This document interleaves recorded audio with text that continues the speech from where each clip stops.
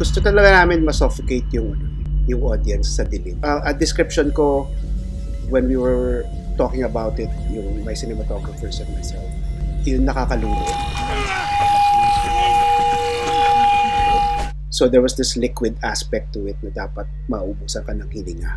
Yung gratifying thing for me was that to sinabi ng mga artista na they felt that while filming because we sort of simulated the, uh, the conditions eh, dun sa, dun sa shoot. We were in a big warehouse na sobrang lamig. Tapos wala talagang ilaw. There was really no other light except the light coming from the smartphones. Pag tinititigan ko yung Magic Star, parang tinititigan din ako.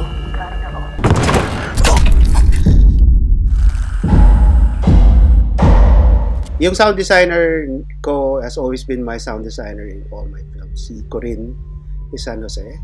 Yung way that Corinne uses, seemingly uses silence as sort of like part of the sound design.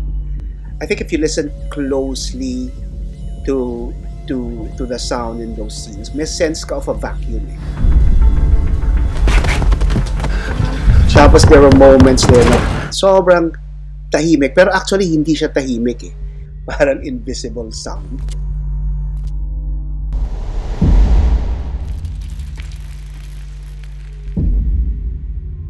We were also on the same page in terms of trying to achieve a certain level of discomfort for the audience.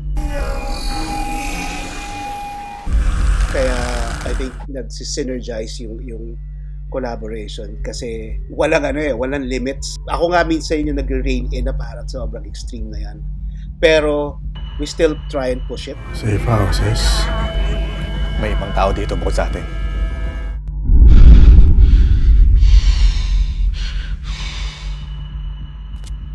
I've always imagined the darkness to be sort of like a a jelly-like void. So parang for me, at least in my head, that's what it smells like. Tayo yung tawag ko. Ako ang tatawag sa inyo, okay? Huwag niyo akong tawagan.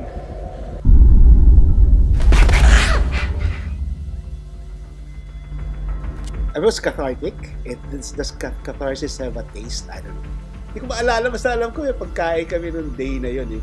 Naalala ko lang may, may lechon at the end of it. Pero yung feeling kasi was was really uh, a rush finishing something. For what it's worth, it it's was very well oiled uh, shoot, and we sort of got uh, what we wanted. If you haven't seen it yet, please go see Midnight in a Perfect World. It's streaming exclusively on Upstream PH until the end of February.